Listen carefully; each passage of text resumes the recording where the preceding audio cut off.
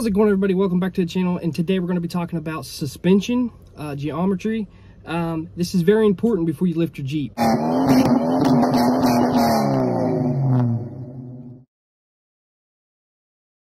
need to watch this video because there's tons of lift kits out there that come with the bare minimum to get you off of the ground and there's tons of lift kits that come with everything that you need or there's lift kits out there that come with stuff that you it just gets you by. Um, so that's what we're going to be talking about today. We're going to be talking about the pros and cons of these lifts and what's important under your Jeep to make it drive like a stock Jeep. I don't know how many comments that I get that I've lifted my Jeep and it drives like garbage. I have a video right here and I'll leave it at the end of this video. You can check out what to do after you lift your Jeep and uh, why it drives the way it does. But today we're going to be talking about suspension parts and why it's important that you need to get these parts with your lift kit.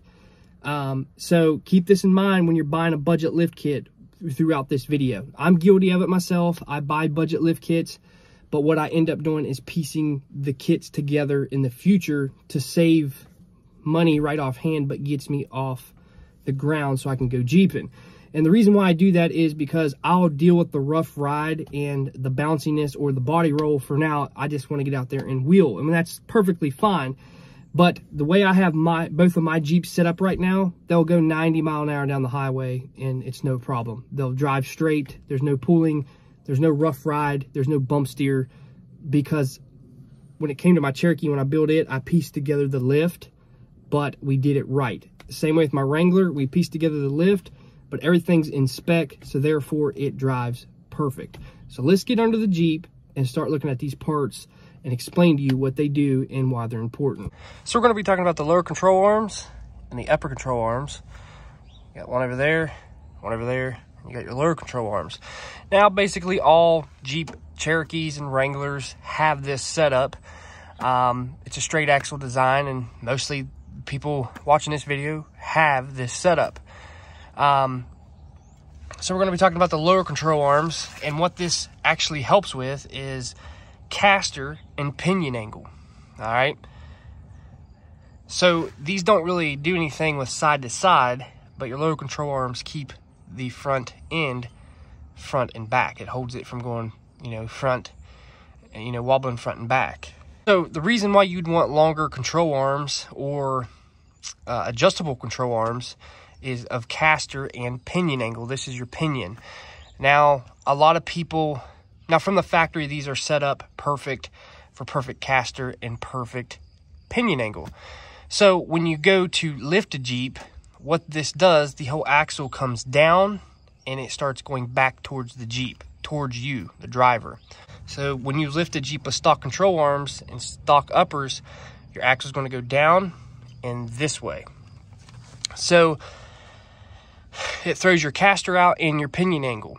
Now, how to correct that you need to get adjustable or fixed length for your lift, lower control arms, not mostly upper, but upper adjustable uppers will help. Uh, but a lot of people just throw on lower control arms to get the caster right. Um, but so you'll need either fixed length for your your lift or you'll need adjustable um, so you can really dial that caster in. Now, when you dial that caster in to get the perfect caster angle, um, you have to keep in mind of your pinion angle because if you get that too much on a bind or get it too sharp, it'll actually wear your U-joints out and you may get vibration. So that's another thing you need to keep in mind is lower control arm, um, the fixed length or the adjustable, see if it comes in your kit. Anything over two inches, um, you're going to need adjustable or fixed length lower control arms. Another thing is your angle. The higher you go with a short arm lift, the more this thing is at an angle. It will ride super rough. Um, so if it's at a super uh, steep angle, you need to get lower brackets to lower it flat, and that'll help with the ride. Um, how to know your caster's out. The steering wheel will not center back. Um, it'll kind of, you kind of have to center it back yourself, and it'll kind of wander all over the road. Um, if your pinion angle's out really bad, it'll make a vibration and it will bind. So that's another thing to keep in mind when you're lifting a Jeep. Now another thing we're going to be talking about is the track bar. Your track bar mounts to your axle and goes to your frame. Don't get it confused with your steering box, your drag link that goes to your tie rod end and it goes to your steering knuckle. So your track bar will come from the axle, it goes to the frame. Now, when you lift your Jeep, what happens is the track bar goes down and it starts pulling to the right. This keeps your axle centered um, under the Jeep. So the more you lift it with a stock track bar, the more it goes down and over. Um, so as you can see, I got an adjustable track bar on mine and this helps me center my axle and it helps me keep everything in line. Another thing, a lot of people will run a stock track bar and they'll get a lower track bar bracket instead of adjustable one. And what this does is it throws your drag link and your track bar out of parallel. You want these to be as parallel as possible. Out of parallel, when you hit a bump, it moves in an arc. So if they are not the same angle, it will move at different rates and it will cause bump steer and it'll cause horrible driving uh, symptoms. So always remember to, when you lift a Jeep and if you do a lower track bar bracket, make sure you compensate with a lower pitman arm to keep all this stuff level. Because if none of this stuff is level, nothing will work together. If they're out of parallel, they'll move at different rates and it'll cause bump steer, it'll cause poor handling on the road and over bumps. So make sure your drag link and all that stuff is in parallel. But if you're going to be running four to five, six, you know, four to six inches, you may have to uh, weld on a bracket on your axle side to bring that up and make it level. Just to give you an idea what I'm talking about, this is my Jeep Cherokee. And as you can see, the drag link and the track bars actually parallel with one another and I'm sitting at six inches. So how I had to achieve that was actually weld on this adjustable bracket so I could get my angles right. Everything will work together and it'll make it drive way better and the steering will be way better and the ride quality be, will be way better. So make sure you keep that in mind when you lift a vehicle. These always have to be parallel. Whether you have to weld a bracket on or drop something, make sure they are always parallel. Another thing we're going to be talking about is sway bars. Um, they are good to get um, because when you lift a Jeep, this will actually go down. It'll cause kind of a rough ride and will also make the body roll worse. And if you go off-road with your short sway bars, I've seen them go this way, they invert and they start to bend. And then you have this jammed in your steering linkage. Um, so make sure when you get a vehicle lifted over two inches that you have the sway bar either parallel or a little bit up like mine is. That way it gives you the droop you need and it don't cause a bunch of body roll. So this basically goes for any straight axle design, uh, any Jeep, XJ, Wrangler, you know, anything that has this front axle. And when it comes to the newer Wranglers that have the track bars in the back, um, honestly, just make sure that that track bar center and as flat as you can get it. And there's good sway bars back there and uh, some decent lower control arms and you're good in the back of the Wranglers. Where things come into play is actually your front end and you know your bump steer, the wandering and stuff like that. So what I explained to you is the lower control arms, that gets your caster right. Um, a lot of people buy the upper control arms too to scoot their axle a little forward. Um, and if they run out of adjustments on the bottom lower control arms, they'll use the upper to get that caster just right.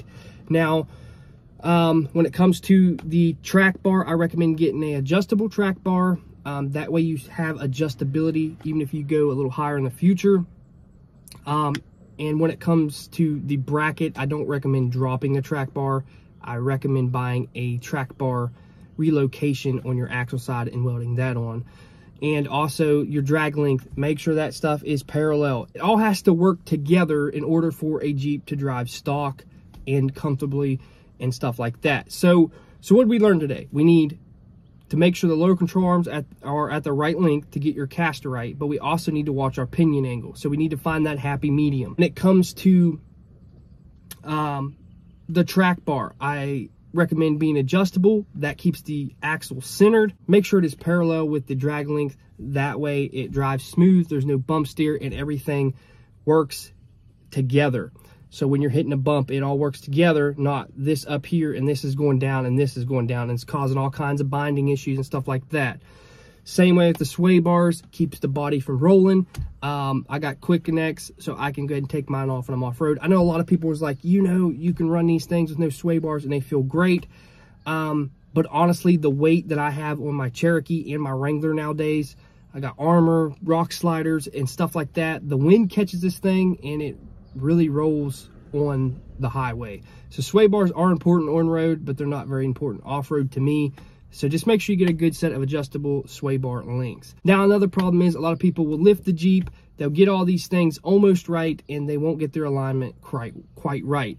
They'll always take it to a shop and spend two to three hundred dollars uh, because you know you have big 35s and you got all this adjustable stuff, so they'll charge you big money.